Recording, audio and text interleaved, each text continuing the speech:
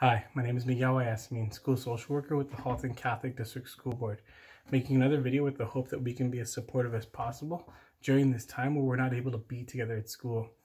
In this one, I want to talk about something that I refer to as brain basics, something I teach the youth that I work with because I find that when they understand their brains better and the way it functions, they can better appreciate why they're experiencing what they're experiencing and possibly even know what to do about it. Um, by that I mean things like depression, anxiety, fear, frustration, worry, panic, uh, but also like joy and excitement and their happy moods and stuff as well too. Uh, in order to do this, I'm going to be using a concept called the hand model of the brain that was developed by Dr. Daniel Siegel. And so I'll quite literally be using my hand to explain it. I ask you to join me in doing this as well too, so that it can help grow your understanding as well we have a three-part brain, uh, three major components that work together in order to give this the fullness of the whole brain. If we think of our arm as the spinal cord that comes up to the base of our brain, or even here as the base of our hand, um, and this part here, the thicker part of our hand, is what we refer to as the low brain, the very primitive kind of instinctual part of the brain. It's the part that helps us with our bodily functions, things that we do every day without even thinking about it that keeps us alive and running. Things like our heart rate, blood circulation, our breathing, um, body temperature control, all those things are in here. If I tuck my thumb in, this part here is the limbic system. This part's primarily responsible for our emotions, our perception, the way we see the world, and our memories. When I tuck my fingers over top, this is the outer part of the brain the higher cerebral cortex. Is the part that makes us uniquely human because the part that gives us all our complex thinking, our strategizing, our problem solving, um, ways that we create and innovate. All three parts working together to give us the wholeness of the human brain. What we know is, is that when we are feeling more emotionally kind of escalated, the majority of the resources go into this area of the brain. The reason why is because it activates the fight or flight response. So if I'm feeling panicked, what's happening is my heart rate increases. I'm feeling hot because the increased blood circulation. Maybe I'm sweating. Um, my fists are clenching or I feel tension in my body because it's activating in order to respond physically. Um, and this part here is what feels the fullness of the emotion, the, the extreme panic or the worry or the anxiety, maybe even anger as a result of that. Um, so when we're in this state, it, Daniel Siegel talks about it as though it's almost as though we flip our lids. He says that because because since all the resources are allocated here, the higher part of the brain has less resources.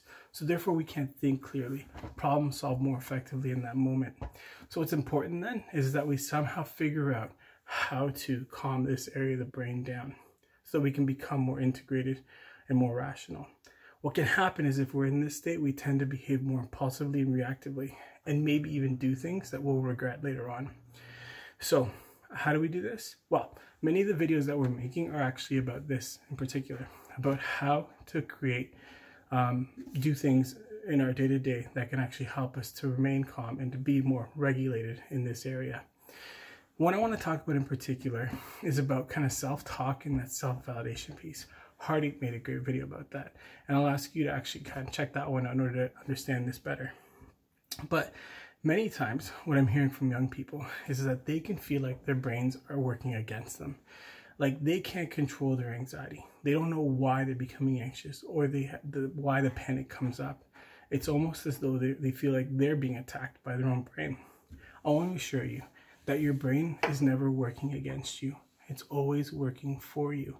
It's there to protect you and to keep you safe.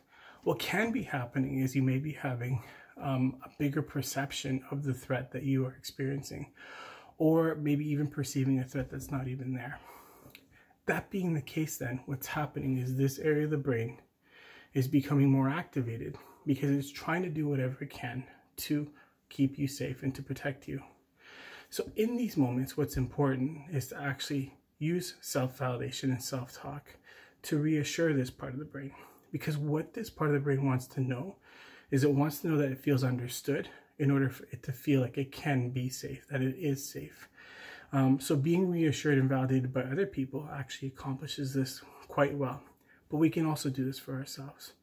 Um, I encourage our young people to sit there and to say to themselves, um, you know what, thank you so much for trying to protect me. I know you're trying to keep me safe, but I know for a fact that there are things here that are not in fact threats, or there are things here that I know that I have power and control over that I can do in order to kind of keep myself safe and to reassure myself.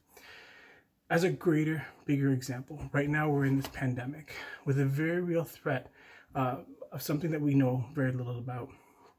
Right now globally, everyone is actually experiencing an increased level of activity in this area of the brain, which means that we're hearing people feeling like they're more stressed, anxious, worried, afraid, maybe even tired, frustrated, confused. That is normal. And if you're feeling that way, it makes sense. So, what's important then is to reassure this part of the brain in the things that you are able to control at this time which is things that like the government or the CDC are recommending, like social distancing, physical distancing, um, hand washing, you know, for 20 seconds appropriately, using hand sanitizers, adhering to the stay at home policies. All of those things can be done in order for this part of the brain to feel reassured that you are doing everything in order to keep yourself safe so that you can become more integrated. I hope this stuff makes sense and I hope that it's helpful to you. I, I, Challenge you to just go ahead and try and understand it as best as possible and to maybe just go over these concepts again so that you can kind of grow your understanding of how your brain works. Um, thank you for listening.